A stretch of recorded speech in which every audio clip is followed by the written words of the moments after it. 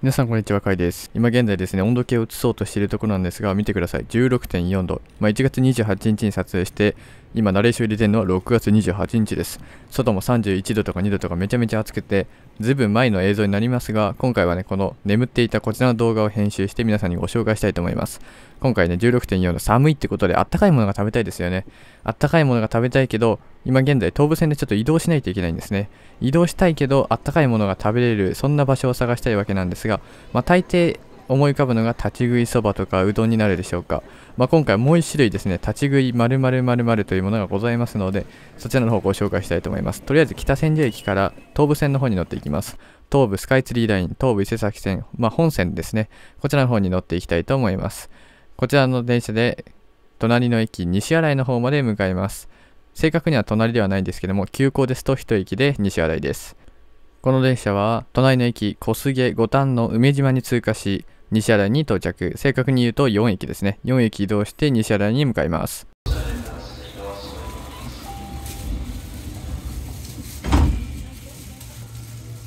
次は西新井西新井に停まりますお客様にお願いいたします座席はお互い譲り合っておかけください Thank you for using the Total Line This is the express train bound for The next station is Nishiarai Please change your course to the Daishin Line 電車は荒川を渡って隣の駅小菅駅を通過しようとするところ。奥の方にはつくばエクスプレスや常磐線の線路が見えます。今から向かう西新井駅はまだ埼玉県ではなく東京都足立区です。この西新井駅には大師線というものが走っておりまして一駅で終点という面白い路線があります。しかも終点は無人駅ということでこちらの路線も今度動画にしてご紹介したいと思います。荒川を渡って首都高速を越えて進行方向右側には東京拘置所があります。現在進行方向左側の方を映しておりますので残念ながら東京拘置所は映すことができませんでした。八塚には止まりません。まもなく西新井駅に到着するところです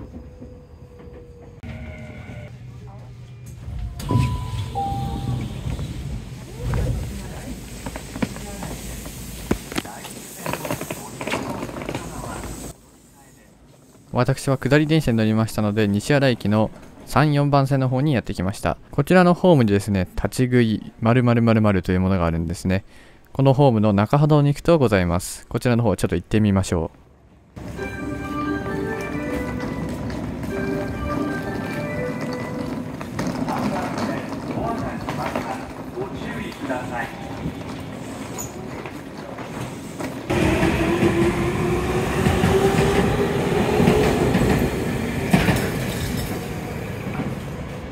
やってきました。こちらが西新井の立ち食いラーメンです。そう、正解はラーメンでした。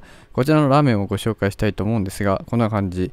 値段もとてもリーズナブルですね。今回、普通の醤油ラーメンをいただきます。ワンコインですね。立ち食いということですぐラーメンも出てきます。はい、はい、ごめんなさい。具材はメンマ、チャーシュー、ナルト、わかめなどが入っていましたね。見てください。このあっさりしたラーメンですね。これ絶対美味しいやつですよね。僕はラーメンでこう背脂とかね、すごい油が多いものは食べれなくて、やっぱこういうあっさりラーメンっていうのは結構好きなんですよね。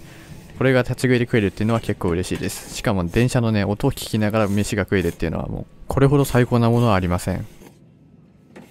電車の音聞きながらご飯1杯2杯食えますからね。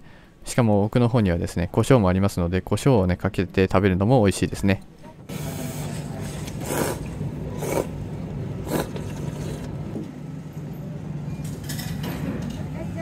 こちらは1月28日現在なんですけども、こちらの営業時間は通常8時から夜の20時半までとなっております。スープまで美味しくいただきました。カロリーなんて考えてはいけません。こちらの西新井ラーメン結構人気ですね。だいぶ混んでいました。今回の動画はここで終わりですが、この後この東急5000系に乗ってまた移動していきたいと思います。全国的にもこの立ち食いラーメンっていうのは少なくて、僕が知ってる限り博多駅と春日部駅の東武アーバンパークラインのホーム柏寄りにあると思うんですがそれぐらいしか思いつきません。他にもね立ち食いラーメン知ってる方いらっしゃいましたらぜひコメント欄で教えてください。